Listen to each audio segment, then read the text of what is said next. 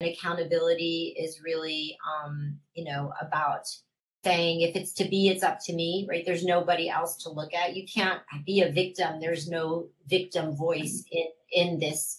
But um if you don't allow yourself to scream out loud all the things you feel about how you are a victim you never heal.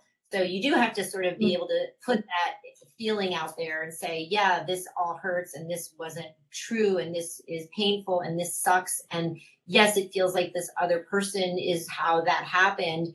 But then in truth, that's just again like an illusion. The the the unpacking of that is I created it up to a point and I will now think about what possibility I'm going to create to move forward from it versus staying in the conversation of being a victim, which does not ever give you power.